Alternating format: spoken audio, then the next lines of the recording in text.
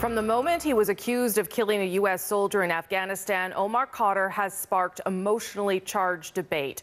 Was he a child soldier used by his family, or was he a terrorist? Ottawa's decision to apologize and pay him money will probably cement existing opinions. But there is a crucial fact at play as well. This isn't just a political battle, it's a legal one. And this country's highest court says Khadr is a Canadian citizen whose rights were violated by his own government. Catherine Cullen starts our coverage. Nice day. It is a really nice day. I thought it was going to be warmer. He looks pretty relaxed, but Omar Khadr might just be the most divisive figure in Canada right now. Let me ask you about the apology. What, why does that matter to you? Uh, I think it, uh, it, restores a little bit my uh, reputation here in Canada.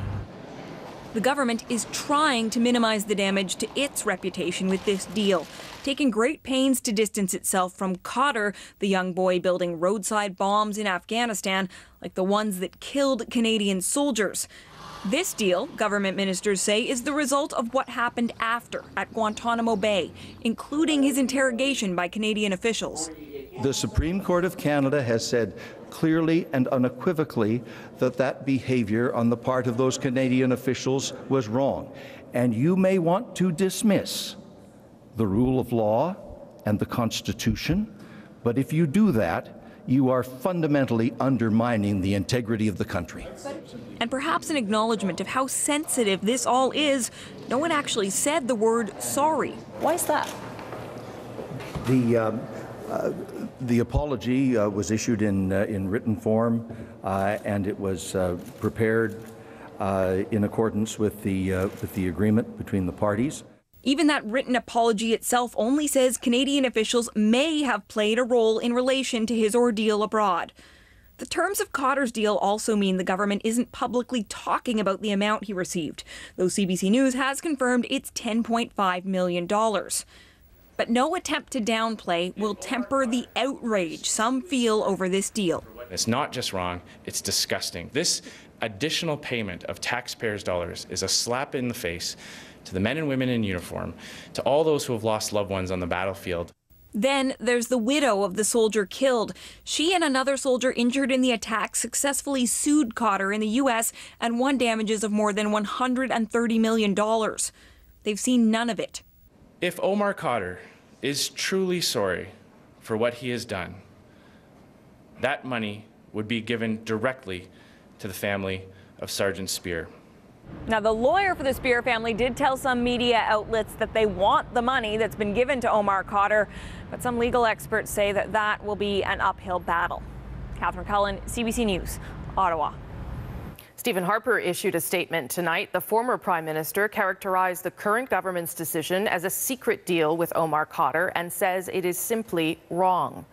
The Khadr story has been 15 years in the making. Here's a look back at how it unfolded. In a 2002 firefight, U.S. Army medic Christopher Speer was struck by a hand grenade and killed. 15 year old Omar Khadr was accused of his murder and detained. RCMP and CSIS investigators interviewed Khadr and shared the results with U.S. officials.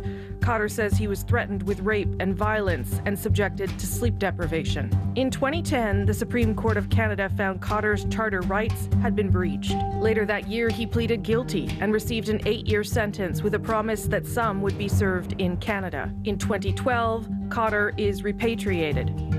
Two years later, the federal court allowed him to sue Canada for conspiring with the U.S.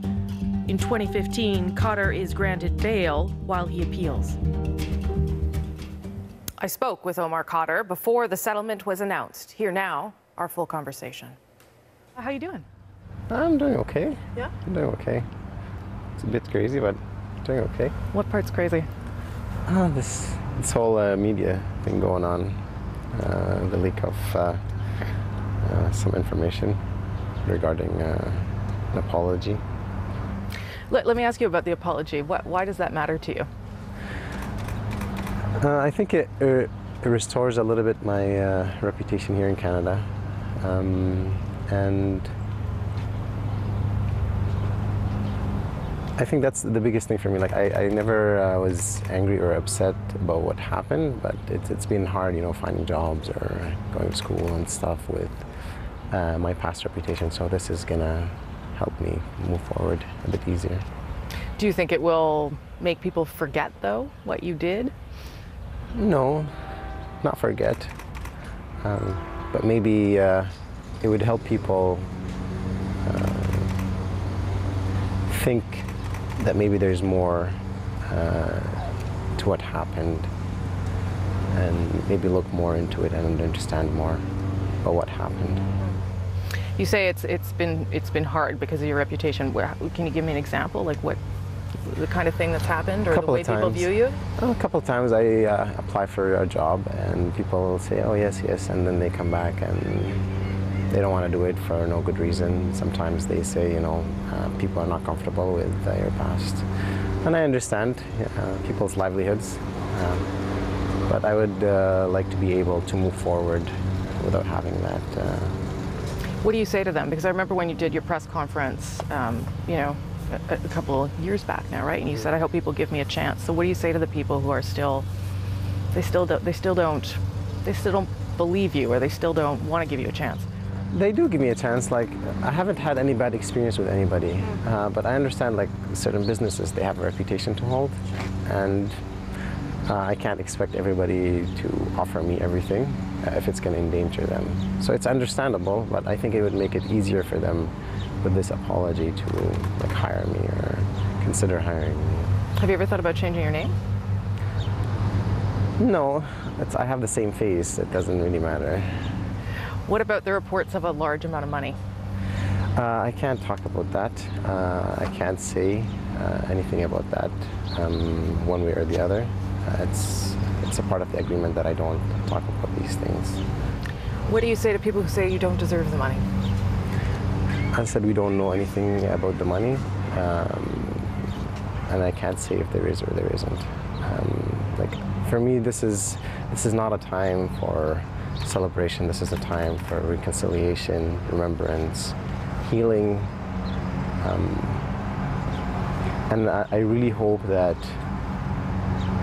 uh, the talk about of settlement or the apology does not cause people pain, and if it does, you know, you know, I'm really sorry for, for that pain. I don't. Are you talking about the Speers family, who already says, who's already out there publicly saying you don't deserve money, or they should, they should have the money if there is money? I said I'm, I'm really sorry for their pain. This is not uh, my intention. Um, so this is a time for you know reconciliation and hopefully not forgetting, but you know moving on and healing. Do you do you have an understanding of how divisive you are in Canada? Of how people have, you know, the, there are some people who think you're a child soldier. There are some people who think you're a terrorist. Do you, do you get that? I do. I do. People, you know, we live in Canada. It's a free country. People are entitled, you know, to make their own opinions, um, to voice their own opinions. But what do you say to them about that? Either of those qualifications.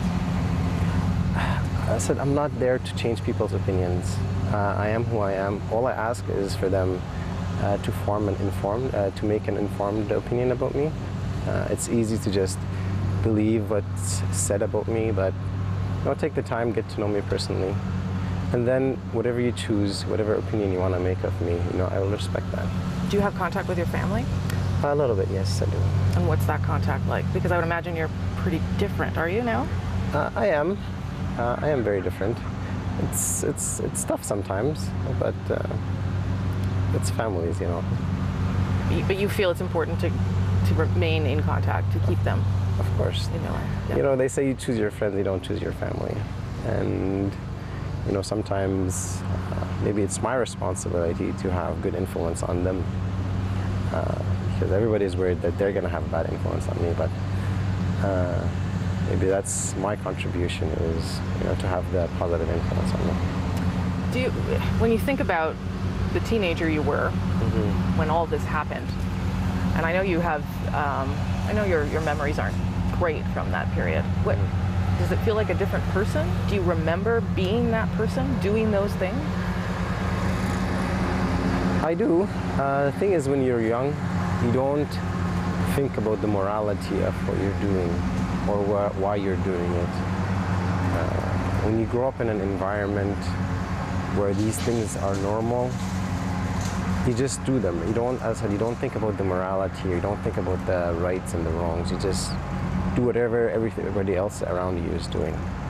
So I am a different person, uh, but I think being a, uh, the young person that I was, I could have easily been influenced with any uh, surrounding I was in. Uh, so it's just unfortunate that I was in this particular. And you're not angry about that part? That you were put in that position? Being angry is not going to change anything. No, but Uh, still. Years past, like as I said, if anger could bring back lost years and experiences, maybe, but it doesn't bring back anything. Right now, I'm just trying to focus on the future and trying to focus on things that uh, I can have influence and change. But do you feel you deserve an apology and or money? I don't think it's a matter of deserving. Uh, sometimes it's it's the thing that we can do to better the chances for a lot of people to heal and to be able to move forward. Who, who are you now? What kind of guy are you? What do you like to do? Um, I'm a student. I'm hoping to go into nursing in September. Why nursing? Well, I always knew I wanted to do something in the medical field. Um, I started paramedicine. That didn't work very well. Uh, so I'm looking into paramedicine. I want to be able to interact with people, uh, to help people, to feel that like I don't, I don't want to feel that I'm a burden, and I don't want to feel that uh, people have to help me or that I'm living on people's shoulders. I want to be able to say, you know, I can be somebody on my own. Uh, I can educate myself. I can, you know, find a job, provide something, be somebody, not because of my past, but because of what I choose right now. What kind of things do you like to do? Uh, I'm an outdoorsy type of guy. I like biking. And I do, when I was in Edmonton, I did a lot of volunteering. Uh, that keeps me busy. And I said, I, I like helping people as much as I can. I, the one thing I was wondering when I, well, the one thing I've been wondering for a long time because I've been doing stories about you for a long time. Do you sleep okay? Do you sleep? Do you have stuff still that's happening in there? Um, I do sleep, I do get nightmares. Um, I think the, the hardest part right now is just being overwhelmed and uh, like being in prison I've taught myself not to feel and to kind of just suppress my feelings. And when there's too many things uh, that are hard or too emotional I suppress it and I that kind of causes me to lose lose sleep or I'm always trying to distract myself from feeling I, I won't give you too much longer. What do you say to Canadians who, who just who don't believe that you're a good guy? Who just don't believe that you could change like this? First, they're entitled to have their opinion. Um, I have like no ill feelings for anybody who doesn't like me or doesn't uh, think well of me. I tell them it's uh, a thing I would tell them it's it's easy to make a conclusion about somebody without knowing them, but you know, uh, Canada is is an intelligent country. People in Canada are intelligent people. Uh, don't we never took the easy way out in anything. We always took the right way out. So do the right thing, take the time, uh, build, make an informed decision, and then you know, I respect your opinion in whatever it is. I know you got to go. Thank you so Thank much. you. Appreciate your time you. very much. Thank you.